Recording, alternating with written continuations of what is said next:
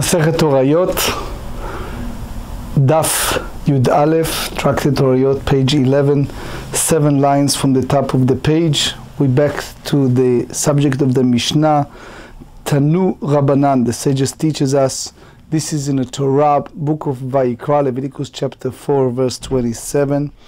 The Torah said as follows, ואם נפש אחת תחטא בשגגה מעם הארץ בעשותה. If one soul commit the sin from among the common people. So it means not everyone, as we explained yesterday, bring kisba or si'ira uh, prat lemashiach, which means this, the, the, let, let's read first the whole pasuk. And if one soul from among the common people sin unintentionally, in performing one of the mitzvot of God that may not be done and he is guilty.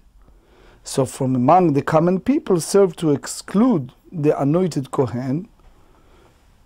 And because they say from among the common people, that's exclude king. So we explained yesterday that that's basically uh, teaching us that that's not part of the the the, the, um, Malbim explained that Am Haaretz, it's the, the not just common the Pshutei Am, that's the regular people, and and uh, the king, the the high priest, obviously they are not part of that. But the Or HaChaim Kadosh explained in that pasuk, again Vayikra Dalit Kavzain, Vayikra chapter four verse twenty seven that's the language I'm just, the Or HaChaim said, דרשו רבותינו, the sages teaches us, למעט כהן משוח בשגיגתו בלא אלם דבר, שלא יביא אפילו שעירה. That's to exclude anointed Kohen when he did it unwittingly, um, that he's not bringing any offering. So, גם מם של מעם, we don't say עם הארץ, we say מעם, אמרו למעט נשיא. That's to exclude the king. היכא שאכל חצי כזית כשהיה אידיוט, when, while he was a common person prior to his king, ושוב נתמנה למלך, and then he appointed as a king, so the רחיים הקדוש said, ואכל עוד חצי כזית שאינו מביא קזבא. So he's not bringing the a offering. So that's the אור החיים. He said, פירוש מתחילה דורש מעם הארץ שהוא מיותר, שלא היה צריך לומר אל הנפש כי תחטא. You don't need the word מעם הארץ, from among the common people. ודרש עם הארץ לאפוקי הגדול המיוחד שבהם. So the understanding from the word עם הארץ, that that's the greatest, the, the most important person. So he said, ודרשה זו הייתה נדרשת גם אם היה אומר בעם הארץ, ומאומרו מעם הארץ, because it used מם, חזר וחלק גם חלק האדיוט. כגון שאכל חצי כזית והתמנה והשלימו, שאינו מביא. So the question is, there is a book called ליקוטי Yehuda, סוף פרשת ויקרא.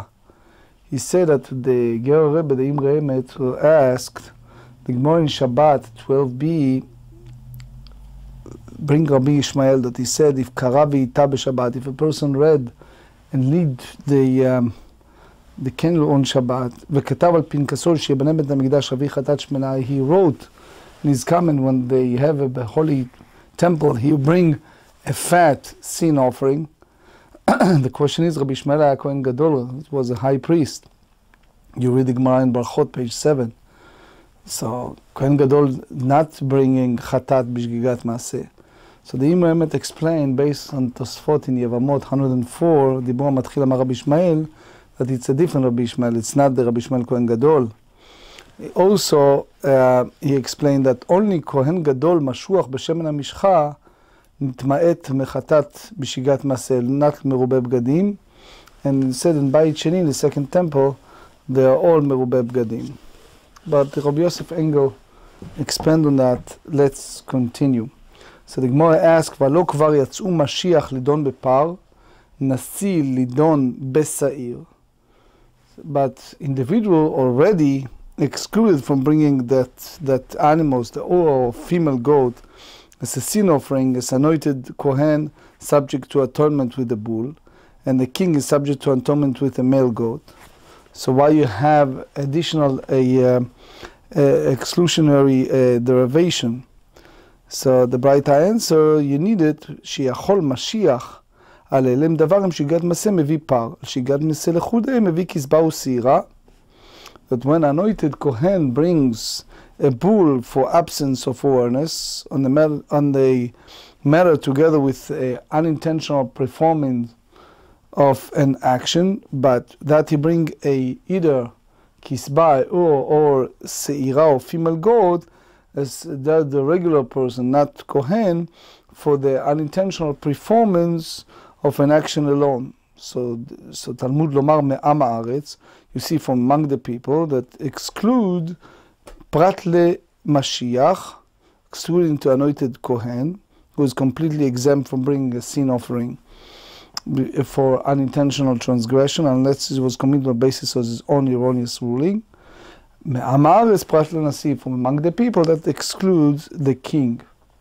So the Gemara asks, Teinach Mashiach, Granted that, uh, that applied to anointed Kohen, El Anasi, it's come to king, he can say it. Why? Bishgagat ma'aseu demaite. It's, for unintentional uh, performance of an action that he brings a goat for his offering. So why you need additional derivation? Amar Zvid Mishmei derava.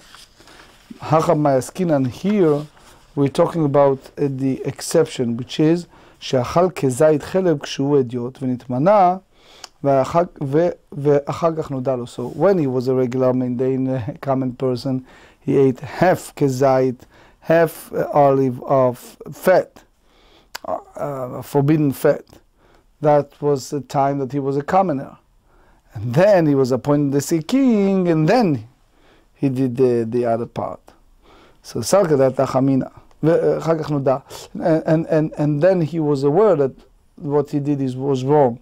So you may say that since he did it while, while, he was a common person, Naitik is Sira, he knew to bring ur or female goat like a regular common person, Kamash Melan, it's come to teach us no that Me'am Haaretz come to teach us that he not bring or, or female goat after he was appointed as a king.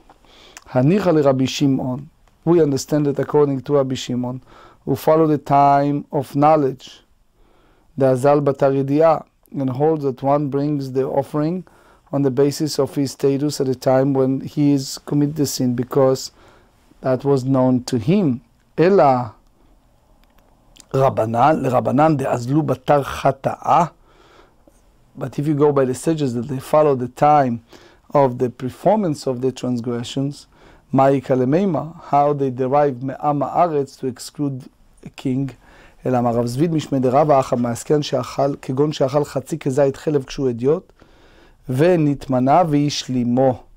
So it means it was a half kezait earlier, then he completed another half kezait when he became the king. So therefore, תוך כדי אכילת פרס תוספות ראש said, so Salka Data Hamina Nitztaref Venaite Kisbao Sira, Kamash Malan, you may think that you can combine him and bring a or female goat. The teaches, uh, but teaches that is king not like a commoner. Since a king bring a special offering, the half olive bug that he ate before becoming king does not combine with the half olive bug that he was as a king. It's a total different status and therefore you treated a total different way. Um, we go by, basically by the Rashi. Um, obviously, the Tosfot Rosh and others um, um, have a different views. There is the Mishneh Lamelech, Per Gimel Chodj Gagot. Um, you see, you see that uh, he challenged this, but anyway. It's also the Gaona Aderet, book over Orach. Anyway, באמינה רבה מרב נחמן, נשיאות מהו שתפסיק. So he asked a question does um, when when it's come to kingship, what exactly you do? Does it interpose between part of the transgression and prevent them from combining? What are the circumstances? היחדם, כגון שאכל חצי חלב כשהוא אדיוט, ונתמנה ועבר, ועבר והשלימו. So the question is, הטעם דלא מצטרף דאך לפלגה שהוא אדיוט ופלגה כשהוא נשיא, אבל אחא דאי דיווידו שהוא אדיוט אך עליהם מצטרף ודילמה לא שנה. מאי? So how you treated? טיפשוט למהה דאמר אמר רבי יוחנן אכל חלב והפריש לקורבן, המיר וחזר בו, הואיל ונדחה יידחה. So because sin was disqualified from bringing an offering as a mumar, so he shall remain disqualified for bringing an offering for the sin. אחרי מומר לה בר עטויה קורבנו, היי בעטויה קורבנו, an apostate is uh, ineligible as far as bringing an offering of any kind, and the king is eligible to bring an offering, or, even that is a different type. So here is the Rambam, Ilchot Gagot, chapter 15. In the case of a king ate half olive bark of forbidden fat while a commoner, and half of it back with his now um, coronation, although he ate both within one lapse of awareness, they do not combine as is exempt from bringing an offering. If one ate half olive bark of forbidden fat before becoming king, and then he was a crown and deposed, and then ate another half of olive bark of forbidden fat, if he ate both within one lapse of awareness, there is uncertainty to whether or not he, uh, he uh, reigned during his liability is different, um, interrupts and prevents the two halves from joining together. באמינה רבי זרע מרב ששת אכל ספק חלב כשהוא אדיוט ונתמנה ונודע לו על ספקו מהו. So you have here a situation that the person is a common person and he ate a forbidden fat, but it was not clear that it was a forbidden fat, meaning he wasn't sure it's permitted or not. Um, and then all of a sudden he turned to be the um, the head the, the, the, the king, the Nasi. So, and then he realized that um, he is not, instead of uncertainty, um, if he ate uh, forbidden fat or not. So does he needs to bring Asham Talui or not? So now the Gemara expands and elaborates on that uncertainty. If you go by the sages that hold that when it's come to chiyuv korban chatat, the obligation to bring the sin offering, you go only shat in the time that they committed the sin. So obviously, the maitei asham talui. So obviously, he needs to bring a provisional guilt um, offering. אלא כי תיבאה לך אליבא דרבי שמעון. The problem is if you go by the Rabbi Shimon, who follow the time of the awareness of the transgressor. So therefore, he doesn't, if it was in between, he doesn't need to bring any sin offering. And here is the big question. מדאישתנה לוודאי ישתנה לספק, או דילמה כי ישתנה לוודאי דאישתנה קורבן דידי, אבל הכא דלא ישתנה קורבן דידי, so basically, can you say that because the status changed with regard to a definite sin, so if he was liable to bring a sin offering and his sin become known to him after that, he's completely exempt. But because it changed from from uh, in the uncertainty, so is that make him bring provisional guilt offering or not? Or you may say that if he, when his status changed, it was regard to a definite sin only. But if it's offering change, since the king brings goat as a sin offering instead of the or, or a female goat, But here, because it's uncertain, his offering does not change. So let, let him bring a provisional guilt offering. And because of that, the Gemara left it as a Tishbe Tiretz Kushiyot Ve'abayot. It's un, uncertain. Tanu Rabbanan Me'am Aretz Pratlim Shumad O Mumar. So the, that's excluded in a apostate. That you don't bring from him Korban Chatat, the sin offering, even for something he did unintentionally. So there, there are a few different mumar. There's a mumar leteavon, that this is out appetite. Mumar leachis, that did it on purpose. Anyway. רבי um, שמעון בר יוסי אומר משום רבי שמעון, אשר לא תעשינה בשגגה והשם, השב בידיעתו מביא קורבן שגגו.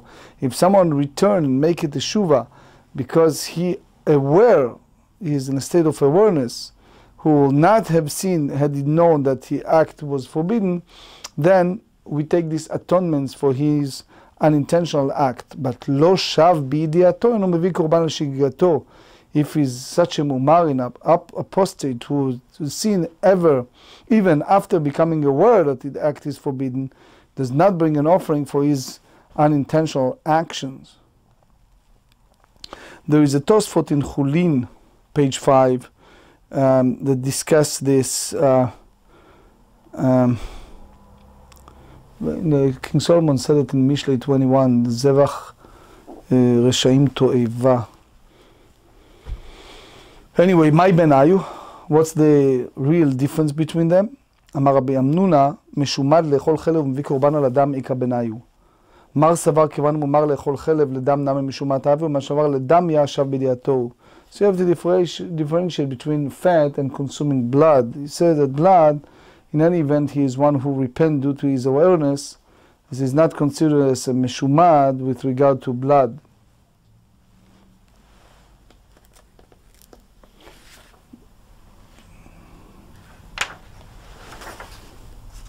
והא רבא אמר דכולי עמא משומד לאכול חלב לא אהב משומד לדם. Someone who's a משומד apostate for fat, it's not for blood, consuming blood. אלא אחא באוכל נבלה לתיאבון התחלף לו בשומן ואכלו כמה מפלגי. So someone ate it out of his desire, the- the- the- and then all of a sudden he turned confused and he, and he switched to fat and he ate it. מר סבר כיוון לתיאבון אכיל במזיד משומן הוא who? Mar Savan Kivan Lo Ishkach, the Ter Alach, Al Isur me today, just today, went my son to Bagel Boss in a five town. So this guy before me. And he said, you know, we're selling a um, soy bacon. I said, what? He said, you know, um, I'm Jewish, but I don't keep anything. And, and it goes on and on and on and on. To make a long story short, I tried to convince him that there's a difference between leteavon, if you do it out of your desire, versus you do it to anger. But anyway, תנו רבנן, איזהו חלב זהו משומד? אכל חלב זהו משומד. וזהו משומד, what exactly the, the state of apostate? אכל נבלות וטרפות שקצים ומרצים ושתה יין נסך. רבי יהודה אומר רב הלובש כליים, if you- someone wear a diverse kind.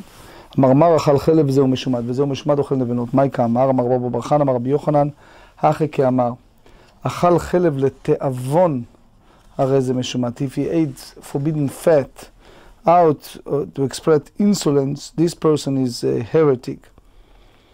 להכעיס, אה, אה, so a fat to appetite is apostate, but if he did it to express insolence, להכעיס, הרי זה מין, so it's a heretic. ואיזו משומש בסתמו מין? and which is an apostate who is um, presumptive heretic, merely on the basis of his action. הווה אומר אוכל נבלה וטרפה שקצים ומרצים ושתה אין נסך. רבי יוסף רבי יהודה אומר על לובש כליים, even one who wear diverse kind, containing wool and linen, מאי בניהו כנראה כלל דרבנן.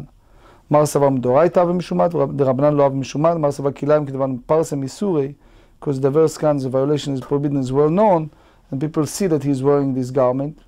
אפילו בדרבנן המשומד, even according to rabbinic law, he is apostate. בלי גברה ברכה ברבינה, אחד אמר לתיאבון משומד, להכעיס מין. One said he did appetite is apote- um, apostate. If he does it to anger, so he's a heretic. ואחד אמר להכעיס נמי משומד. So he did it to, to, to anger, so he's also considering a, a apostate. Elazeu mean, what exactly is a heretic? כל העבודה עבודה זרה, someone engaged in idol worship. מי טבעי, אכל פרעוש אחד או יתוש אחד, some ate one flea or one mosquito, זה, הרי זה משומד, it's considering apostate. והלך להכיסו וקרא למשומד, we said it to, to, to, to express installation, installation and now you call him apostate. So the Gemara answers, the reference there in the Braita is to the case one who eats, Hadam Damar et om tam It said that due to the, the to appetite, taste the flavor of the prohibition. He seek to eat food that he has never eaten before. The Mishnah said, Vezeu Nasi. We, who is the Nasi? The Melech, as we learn in Mishnah, that's applied to the king, because the Torah said in the book of Vayikra, chapter 4, verse 22, Asher Nasi Ichtav, Asam Mikro So that's applied to a king. Tanu Rabbanan Nasi. Yachol Nesi Shevet, Kenachshol Ben Adam. Maybe you said, a to 12 tribes, that's applied to one of the head of the tribe, like Nachshon, son of Aminadav, that he was the Nasi of the tribe of Yehuda, and they call him Nasi, תלמוד לומר מכל מצוות השם אלוקיו, ולהלן הוא אומר, למען ילמד ליראה את השם אלוקיו. So in one place they said, and perform all the mitzvot for the Lord his God. And then they said in Deuteronomy 17 that he may learn to fear the Lord his God. So the Gemara derived from that, page 11b, מה להלן שאין על גביו אלא השם אלוקיו, אף נשיא שאין על גביו אלא השם אלוקיו. So apparently we derive the, the, the, verbal analogy, the juxtaposition from the word Hashem Elokav. It's written several times. But Tosfot Rosh, you see also in the Magen Giborim, that disagree um, from this derivative. But anyway, Be'amine Rabbi Rabbi Chia, Rabbi Yudan Asi asked Rabbi Chia, Kigon ani mahu besair. When it's come to me, meaning I'm the head of the Sanhedrin. He was the head of the Supreme Rabbinic Court. So, do I have the obligation to bring a goat as a sin offering because I'm the Nasi? Or is my atonement with a ur or a female goat like a commoner because I'm not the king? So Analo, Amarle, Rabbi answer to Rabbi, Harei tzaratcha bebavel. Your rival, your competitive, the exilarch, the Rosh Galuta, he is in Bavel. Rosh Galuta, the exilarch, was the descendants of King David and it was the leader in Babylon, and he was the same in a way as a king in his authority. So it means you cannot say that, that you basically need to bring a sin offering as a irregular commoner. Because um, he is dependent upon Rosh Hashanah. That's the way Rashi explained. Um, anyway. There's a few explanations what exactly involved in that conversation is the act of humbleness. הייתי ומלכי ישראל ומלכי בדוד, אלו מביאים לעצמם ואלו מביאים לעצמם.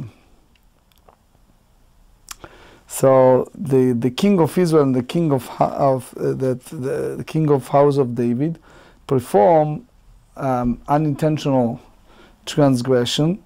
So bring a sin offering for themselves as king and bring a sin offering for themselves as a king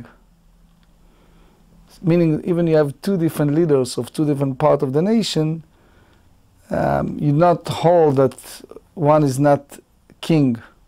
Each of them is independent, in a way, is, is, is considering a king. So he said, no, אמר לי, התם לא כיפה לעדת, החנן כיפה לדידו. Says usually they're not subject to each other authority, so it's fear.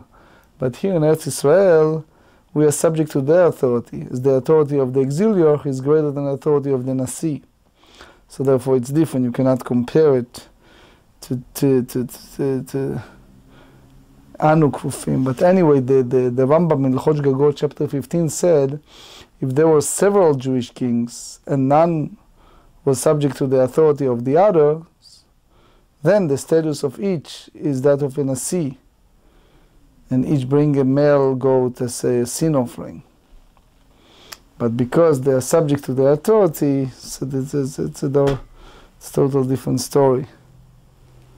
Beersheba explains that although the sages said that the residents of Babylon was uh, subordinate to the residents in Eretz Israel, that was stated with regards to interpretation of the Torah. Eretz Israel was the center of the Torah. The same was true with regard to uh, ordination of sages and sanctification of the monks.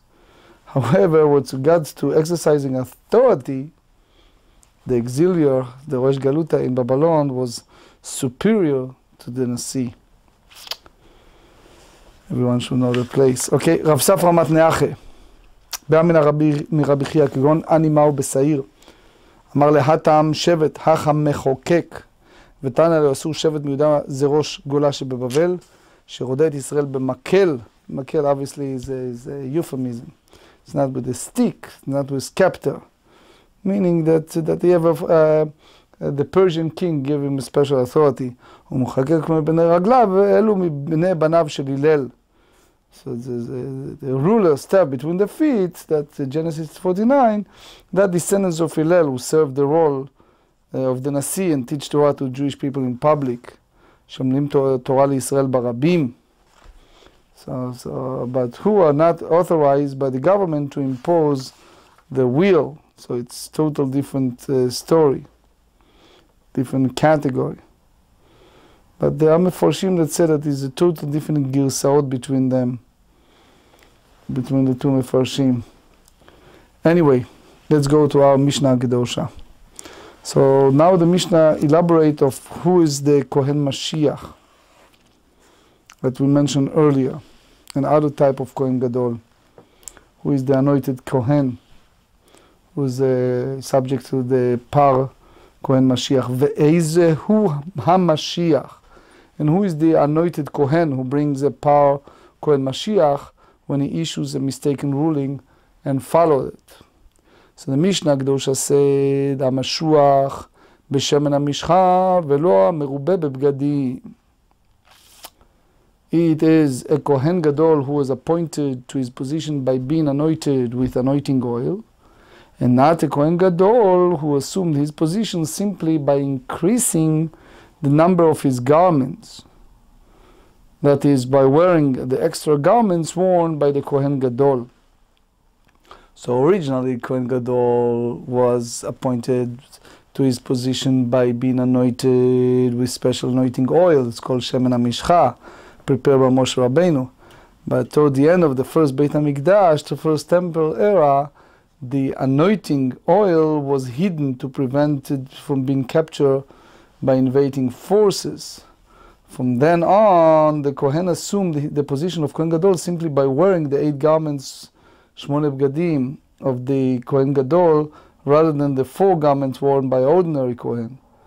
So the Torah states in uh, Leviticus chapter 4, verse 3, that the Par Kohen Mashiach is to be bought by the anointed Kohen, which is only a Kohen Gadol who was appointed by being anointed, and not one who served after the oil was hidden, is subject to the law of Parel uh, Kohen Mash, uh, Mashiach. So one who is not anointed does not bring a Par Kohen Mashiach. If he sins, he brings a standard katat, just as an ordinary citizen bring for his sins. The Mishnah notes that the law of Par Kohen Mashiach is the only, the only difference between these two type of Kohen Gadol. אין בין כהן המשוח בשם למשחה למרובה בגדים. there is no difference between a Kohen Gadol who is anointed with anointing oil and one who is appointed merely by increasing the number of his garments. Ela par haba al kol hamitzvot, meaning specifically, except for the bull that was brought for transgressing any of the mitzvot. So that is any of the mitzvot that is subject to the penalty of karet, as we mentioned in the previous Mishnayot. And uh, so that is the Par Kohen Mashiach, which is brought only by the Kohen Gadol, who was anointed to his position. With regard to every, uh, every other law, both type of Kohen Gadol are basically equal.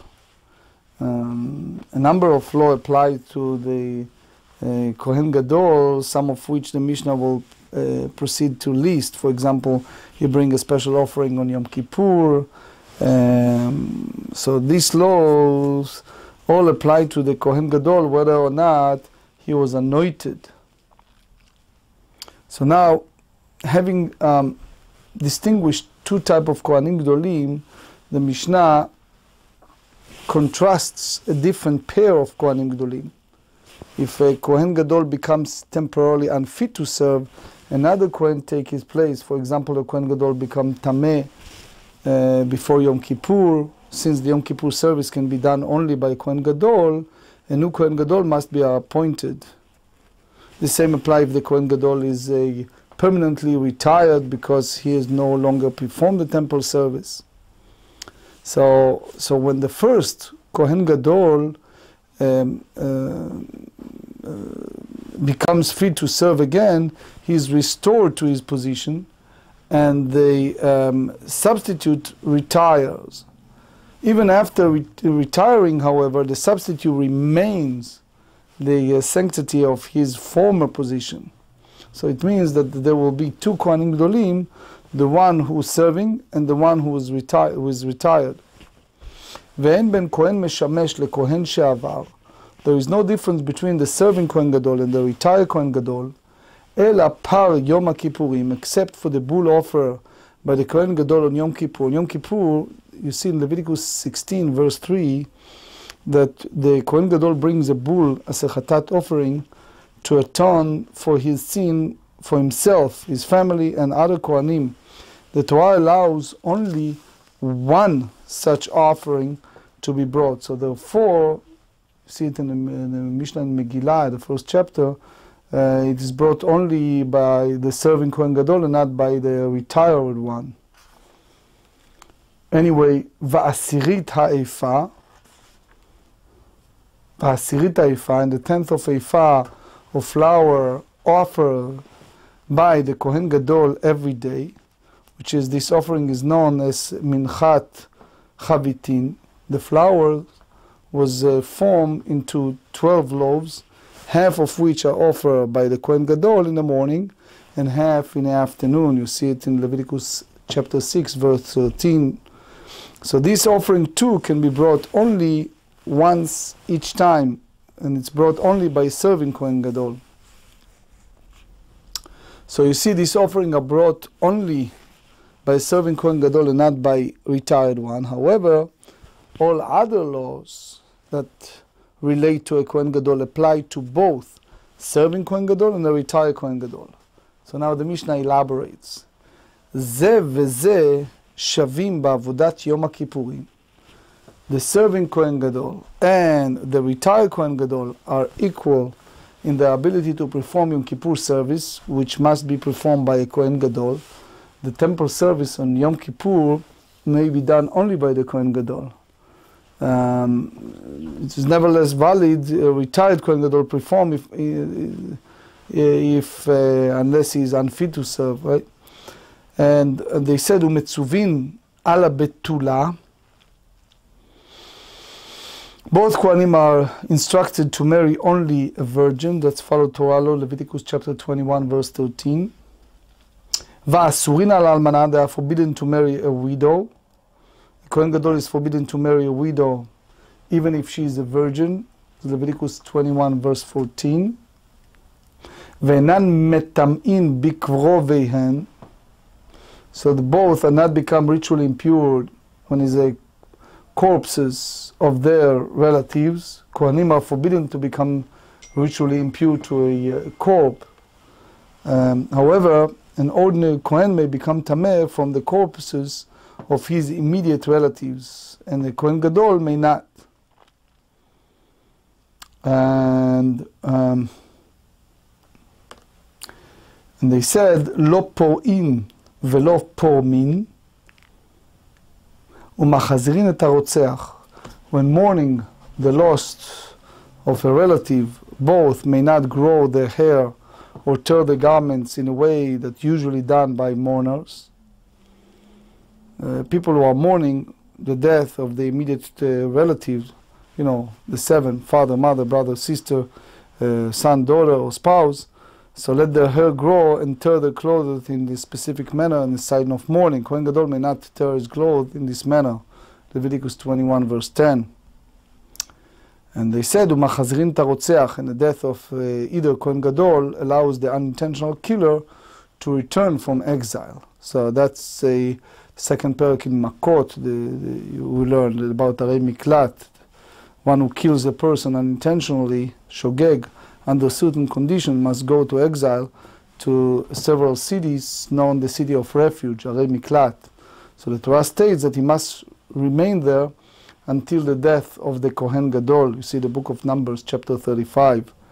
So our Mishnah teaches that the unintentional murderer may leave the city of refuge upon the death of either a serving Kohen Gadol or a retired Kohen Gadol.